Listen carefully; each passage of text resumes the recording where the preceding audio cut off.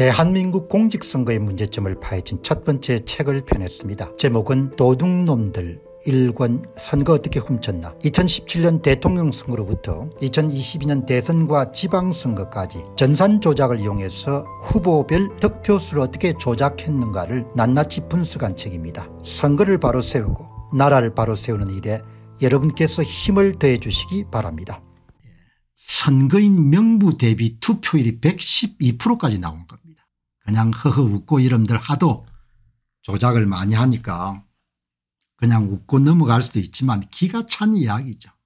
명부 대비 투표율이 112%까지 나온 겁니다. 여러분 어제 제가 명부 대비 투표율이 95%까지 나왔다 이런 방송을 보낸 적이 있는데 이 여러분 한번 보시기 바랍니다.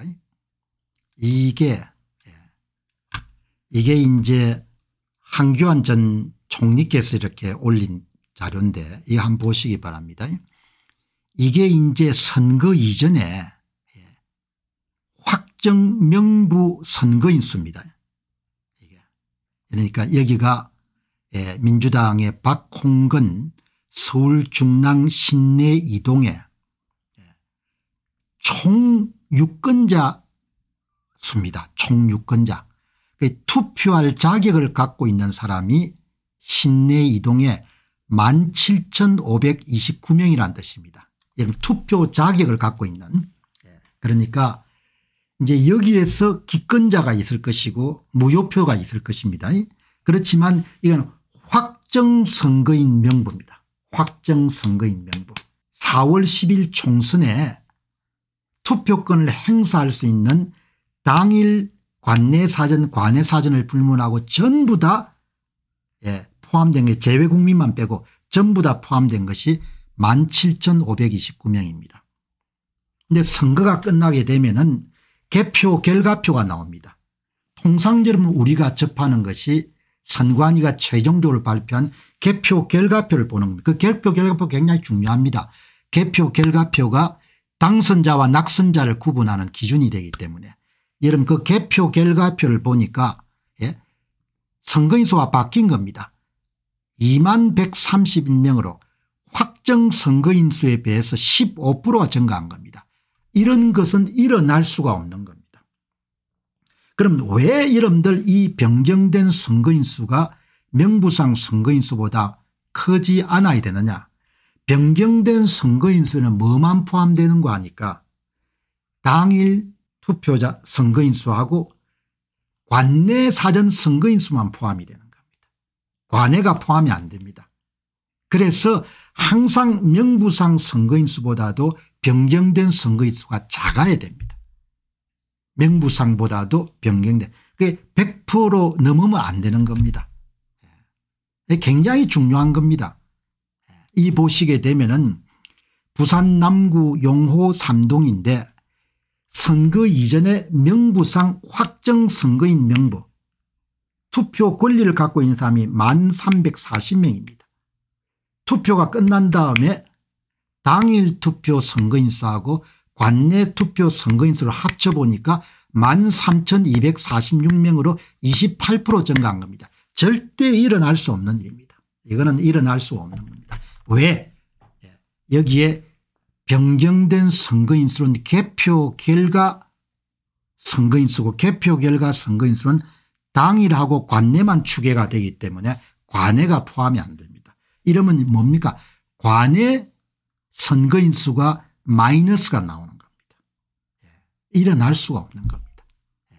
이게 여러분들 왜 이런 일이 일어나는 거 아니까 선거인수를 만졌기 때문에 문제가 발생한 겁니다. 투표자 수를 만졌기 때문에 여러분 이 보시기 바랍니다. 대한민국 공직선거에서 뭘 여러분들 조작합니까 더불당 후보한테 표를 더해 주는 겁니다. 후보별 득표수에서. 예. 이 후보별 득표수에 이런 표를 더해 주면 맨 먼저 뭐가 바뀝니까 후보별 득표수 더하기 무효표가 투표자 수입니다. 투표자 수가 뻥튀기가 됩니다.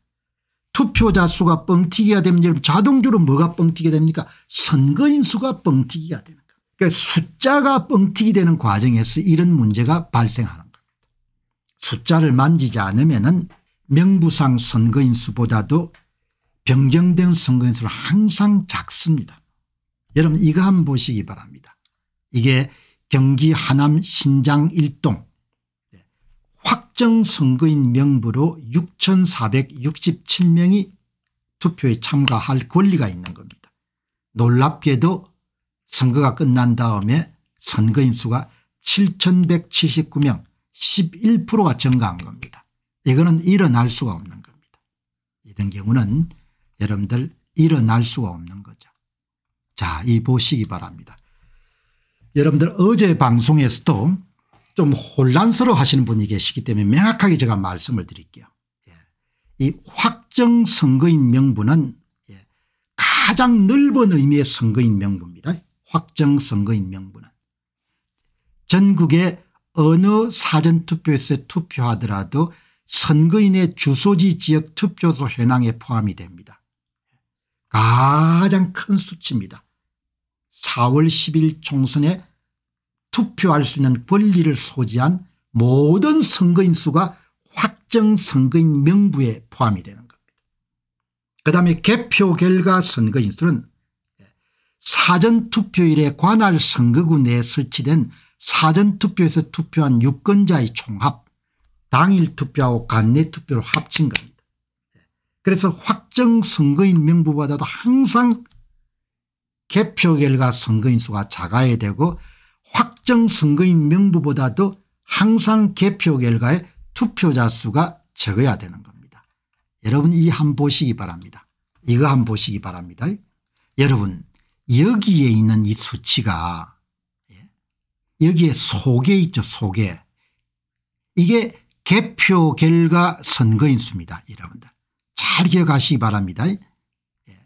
봉양업 봉양업 개표 결과 선거인 수가 5752표입니다. 뭐의 합입니까 관내 사전투표 1821표 더하기 당일 투표 3931표의 합인 겁니다. 이게 합인 겁니다. 그래서 여기에는 관내 투표가 포함이 되어 있지 않습니다. 여러분 관내 투표가 포함이 되어 있는 게 어딘 겁니까 확정 선거인 명부의 선거인 수에 포함이 되어 있는 겁니다. 여러분 금승면에 1737표가 개표 결과 금승면 선거인 수입니다. 여기에는 관내 사전투표 선거인수 더하기 당일 투표 선거인수만 포함이 되어 있는 거예요. 여러분 이 보시죠. 예. 더불어민주당 이경용 후보의 이 줄치 논부분이 전부가 다 부풀려진 겁니다. 이거를 부풀리려면 여러분들 뭐가 부풀려야 됩니까 투표자 수가 부풀려야 되고 선거인 수가 부풀려져야 되는 겁니다. 여러분 투표자 수 언제 부풀립니까 사전투표 양일사에 부풀리잖아요. 여러분들 이 투표자 수가 언제 부풀려지는 거 아니까 투표자 수가 언제 부풀려집니까 선거인 수가 언제 부풀려집니까 언제 뻥튀기 합니까 그 뻥튀기 하는 첫걸음이 언제입니까 사전투표 양일 사이에 24개의 누적 사전투표자 수를 조작하는 겁니다. 이거를 조작하는 겁니다. 이거를 조작하고 개표일에 그걸 전부 다 뭡니까 더불당 후보와 함께 더해 주는 겁니다. 여기서는 선거인 수하고 투표자 수를 부풀리는 겁니다. 여러분 선거인 수 이런 투표자를 부풀림 하는데 여러분들 그래프로 제가 표시했지 않습니까 이렇게 부풀리는 겁니다. 이 작업 언제 합니까 사전투표 양일사에 하는 겁니다. 숫자를 부풀리고 4박 5일 사이 위조투표를 투입하고 개표기 여러분 돌아갈 때면 그 전산조작으로 전부 다 더불당 후보한테 더해지도록 만드는. 2단계 양육작전 이런 펼쳐져야 되는 겁니다. 여러분 어제 한참 아버지란 분이 오셔가지고 그냥 도배를 하다시피 그렇게 하시기 때문에 제가 명확하게 오늘 한 번 더 여러분들에게 말씀드리고 싶은 거는 이 확정 선거인 명부하고 이 부분을 착하게 이해를 하셔야 오해가 없을 겁니다. 여러분들 여기서 보시는 이 봉양업 사전투표자 수 선거인 수는 바로 개표 결과 선거인 수 개표 결과 투표자 수입니다. 여기에는 관내 사전투표와 당일 투표만 합쳐지는 겁니다. 여기에 확정 선거인 명부에 포함되는 관내 사전투표자 수가 포함이 안 돼 있는 겁니다. 이렇게 명확하게 여러분들 정리를 하게 되면 문제가 쉽게 그래서 확정 선거인 명부는 가장 큰 수치입니다. 거기에 부분 집합 그 속에 포함되는 것이 개표 결과 선거 인 수고 개표 결과 투표자 수인 겁니다. 예. 자 그럼 여러분들 이 황당한 일이 벌어진 겁니다. 여러분 이 보시기 바랍니다. 서울 서초 반포 본동 개표 결과 투표자 수가 206명 확정 명부상 선거인 수가 283명 일어날 수가 없지 않습니까 개표 결과 지역구 투표수는 183명보다 적어야 되는 겁니다. 왜냐하면 여기는 관내 사전투표와 당일투표만 포함됐기 때문입니다. 여기는 관내 당일 관외가 포함이 되어 있는 겁니다. 확정 선거인 확정 명부상의 선거인 수에서 투표자 수를 여러분들 나누게 되면 112.6%가 나오는 겁니다. 선거인 명부에 여러분들 투표할 수 있는 권한을 갖고 있는 사람이 183명인데 투표를 한 사람 숫자가 206명인 겁니다. 서울 서초구 반포 본동에 투표율이 112.6%가 나오는 겁니다. 있을 수가 없는 거죠. 경남 거창 남하면에 투표 권한을 갖고 있는 선거인 수가 1348명인데 투표함을 여러분들 까보니까 관내 당일 합체가 1416명이 투표를 한 겁니다. 투표율이 105%가 나온 겁니다. 어제까지 말씀드린 98%보다 더 크게 나오는 겁니다. 강원 철원 근분면에 확정 명부상 선거인 수가 98명인데 개표 결과 지역구 투표자 수가 102명이 나온 겁니다. 104.1% 투표율을 기록하는 겁니다. 일어날 수가 없는 일인 겁니다. 전북 부안 행안면에 확정 선거인 명부상의 선거인 수가 1926명입니다. 선거할 수 있는 권한을 가진 사람이 1926명이라는 이야기입니다. 그런데 투표함을 까보니까 관내 투표자 수 당일 투표자 수 합이 2000명이 나온 겁니다. 투표율이 103.8%가 나온 겁니다. 일어날 수가 없는 일. 부산 남구 용호 제3동은 투표율이 98.1%인 겁니다. 투표율이 90% 이렇게 나올 수가 없잖아요. 공산당 선거도 아니고. 2020년 4.15 총선에서 문제가 됐던 강원 철원 건분명 같은 경우는 인구수보다 투표자 수 더 많은 겁니다. 인구수보다. 여러분 인구수에는 누가 포함이 됩니까 0세부터 18세 미만까지 미성년이 포함이 되는 거죠. 인구수보다 투표자 수가 많은 데가 강원 철원 건분면이 나온 겁니다. 이게 어마어마하게 예. 여기 선거인 수란 부분에 대해서 유권자 수를 쓰시는 분들 근데 공식적으로 선거인 수를 쓰기 때문에 이걸 변경하기는 힘듭니다. 그런데 여러분들은 선거인 수하고 유권자 수를 같이 동일시하면 될 겁니다. 확정 명부상 유권자 수 이렇게 보시면 되겠죠. 예, 그러나 표현은 또 선거인 수로 할 수밖에 없는 겁니다. 이걸 공식적으로 사용하기 때문에. 예, 이렇게 여러분들 보는 겁니다. 이게 여러분들 정말 나라가 여러분들 정상적인 국가 같으면 이게 도대체 있을 수 있는 일입니까 확정 선거인 명부는 오늘 더 명확하게 말씀드리게 되면 투표할 수 있는 권한을 갖고 있는 총 유권자 수입니다. 총 유권자 수보다도 투표함을 까보니까 투표지 개수가 많이 나온 겁니다. 말이 안 되지 않습니까 여러분 그러면 이런 일들이 왜 발생하겠느냐 이게 후보별 득표수를 더해 주는 과정에서 투표자 수도 이런 부풀려지게 되고 선거인 수도 부풀려지기 때문에 발생하는 문제다 이렇게 보는 거죠. 예. 엄청난 일이 발생을 한 겁니다. 그 이제 오늘 방송 시작하기 전에 민경욱 전 의원의 페이스북을 방문해 보니까 똑같은 문제에 대해 사람들이 좀 혼란스러워 하니까 정확하게 이렇게 여러분들 정리를 해놨네요. 예. 지역 유권자 수 전체보다 절대 많으면 안 됩니다. 예.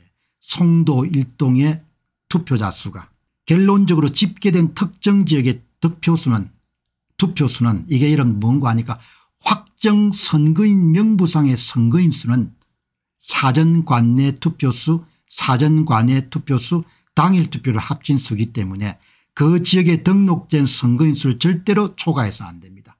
어떤 경우든 간에 여러분들 선거인 수를 초과하면 안 된다는 겁니다. 투표할 권한을 갖고 있는 유권자 수를 절대로 초월해서 안 된다. 예. 이런 거가 예, 발생하기 때문에 예. 그리고 앞에서 말씀드린 것처럼 이런 것은 충분히 선거 무효 소송의 사유가 되는 겁니다.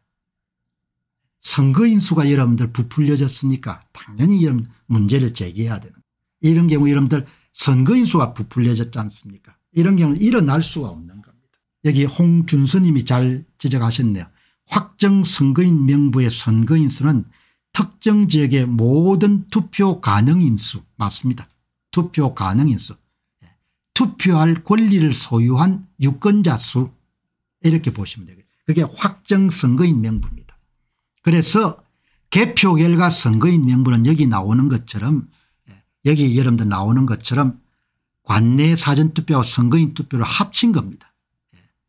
그 여기에는 관내 사전투표가 포함이 되지 않기 때문에 항상 확정 선거인 명부보다도 개표 결과 선거인 수가 적어야 되는 거 이렇게 보시면 여러분들이 될 겁니다.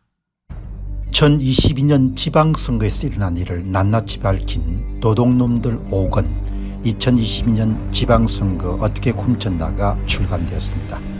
이미 발간된 도둑놈들 1권 선거 어떻게 훔쳤나 2권 2022년 대선 어떻게 훔쳤나 3권 2022년 대선 무슨 짓을 했나 4권 4.15 총선 어떻게 훔쳤나 이어서 다섯 번째 발간된 책입니다. 여러분께서 구매해 주시고 주변에 널리 알려주셔서 선거 공정성 회복을 위해 전국민 필독서가 될 수 있도록 힘을 대주시기 바랍니다. 감사합니다.